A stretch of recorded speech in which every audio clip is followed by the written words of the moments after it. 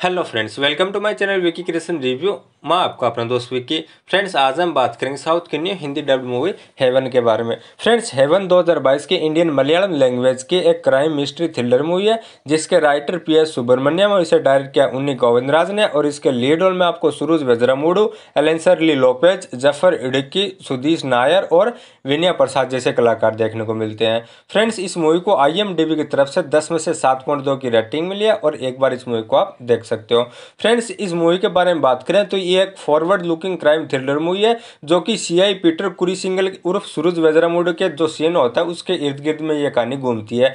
Friends, इस movie की शुरू होती है एक जंग, सुनसान जंगल से, जहाँ चार दिन पुरानी एक लाश मिलती है और उसकी जो इन्वेस्टिगेशन जाँच शुरू होती है तो बाद में फ़िल्म उस स्थिति में आपको लेके जाती है जहाँ हत्या होती है। फ़र्स्ट, आप फ्रेंड्स इतना मजबूती के साथ, इतना थ्रिलर और सस्पेंस के साथ आगे बढ़ता है कि आपको ये मूवी एक औस से औस से ऊपर देखने को मिलती है। सेकंड आप में जब ये मूवी जाती है तो जिस तरह से इन्वेस्टिगेशन चलती है तो उन अधिकारियों का काम करने का तरीका एकदम से आसान हो जाता है, क्योंकि हथियारों ने जो सुराग है, वो इसी तरीके से छोड़ दिया, जो कि कुछ बनावटी जैसा लगता है। और कुछ घटनाएँ एकदम बनावटी तरीके से पेश की गई हैं, लेकिन सेकेंड हाफ़ बिना किसी चुनौती के एक सहज तरीके से चलती रहती है।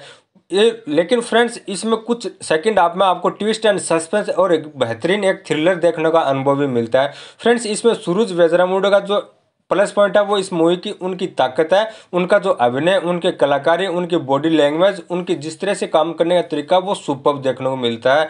और साथ ही साथ फ्रेंड्स, इसमें विनय प्रसाद एलेंसर और दीपक परम्बोल ने बाकी जितने भी स्पोर्टिंग कलाकार होते हैं, उन्होंने शानदार काम किया। और पद्यराज यदीश का जो किरदार है, वो इतना कायल करता है कि आप ये मूवी देखोगे तो आप सस्पेंस में घूम जाते हो। और कई सारे सीन्स ऐसे देखने को मिलते हैं कि जिनकी जो परफॉर्मेंस होती है, वो एक औस्त अनुभव देता है। और जहाँ पहले आप में आपको सावधानी होती है तो सेकंड आप में कई सारे ट्विस्ट एंड ट्रेंड्स आपको इस मूवी में देखने को मिलते हैं। फ्रेंड्स इस मूवी की जो स्टोरी है, वो एक गजब तरीके से चलती रहती है और आपको सस्पेंस में भी रखती है। इस मूवी का जो बैकग्राउंड स्कोर है, जो म्यूज़िक है, वो आपको कमाल का देखने को मिलता है और जो कि ये संगीत, जो म्यूज़िक है, वो कहानी के अनुसार आपको साथ साथ लेके जाता है। और विनोद इलमपल्ली का जो सिनेमाटोग्राफी देखने को मिलती है, वो एक एक सीन इतने गजब तरीके से दिखाया गया है और मूवी का जो बैकग्राउंड स्कोर है, वो भी सुपर तरीके से चलता है। फ्रेंड्स इस मूवी में जिस तरह से सस्पेंस है, जो थ्रिलर चलता है, वो कमाल का है और इस फ़िल्म में चरित्र जो कि पीटर होता है, उसकी की जो इमोशन होती है,